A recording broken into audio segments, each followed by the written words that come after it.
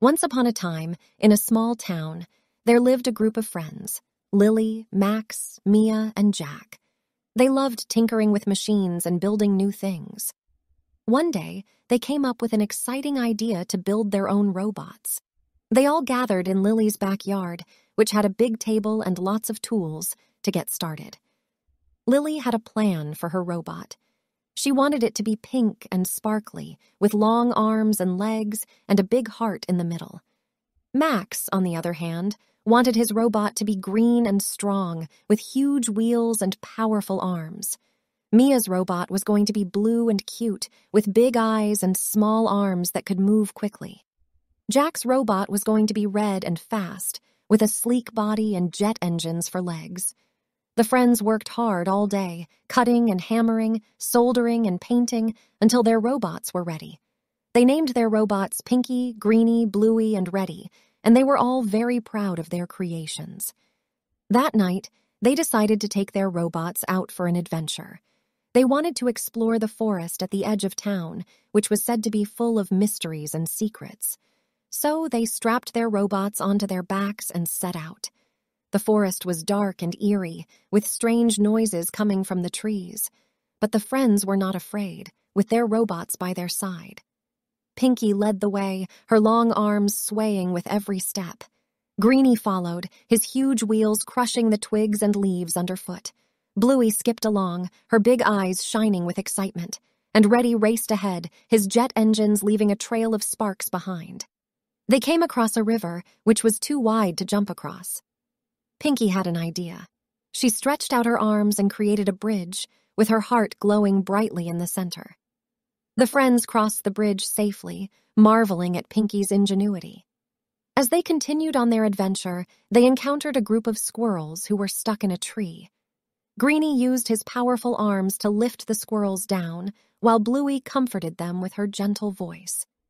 Reddy kept watch, scanning the forest for any danger. Suddenly, they heard a loud noise coming from deep within the forest. It sounded like a monster. The friends huddled together, scared for a moment, but then they remembered their robots, and they knew they could handle anything. They crept forward, following the sound.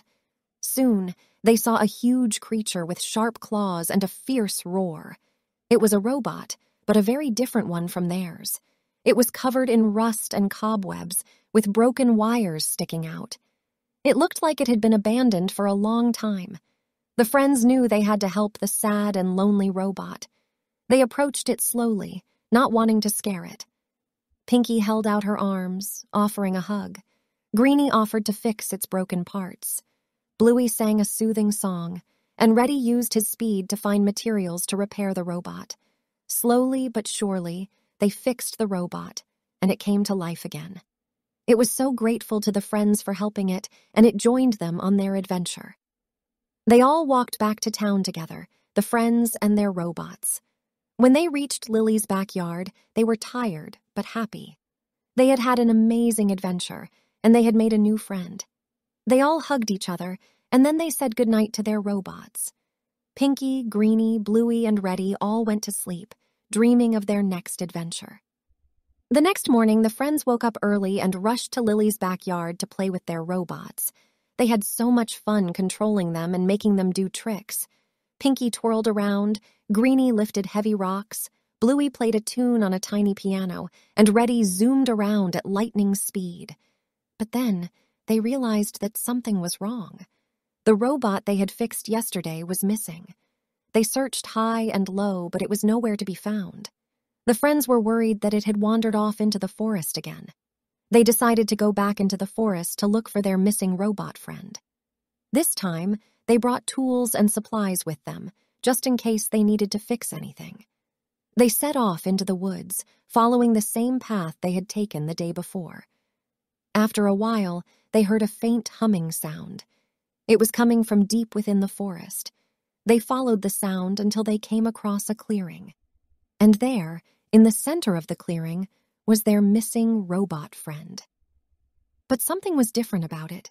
It was now covered in shiny new parts, and it had a new coat of paint. It looked happier and more vibrant than ever before. The friends were amazed at the transformation. They asked the robot how it had managed to repair itself. The robot explained that it had followed their example and used the tools and supplies they had left behind. It had been determined to make itself better and had worked tirelessly through the night to do so. The friends were overjoyed at their robot friend's ingenuity and perseverance. They realized that they had not only built robots, but they had also taught them important values like kindness, cooperation, and determination. As they walked back to town, the friends knew that they would always be there for each other and for their robot friends. They had learned that even the smallest beings could make a big difference in the world. From that day on, the friends continued to have many more adventures with their robots, and they always remembered the lessons they had learned. And as they drifted off to sleep each night, they knew that their robot friends were right by their side, ready for whatever adventures lay ahead. The End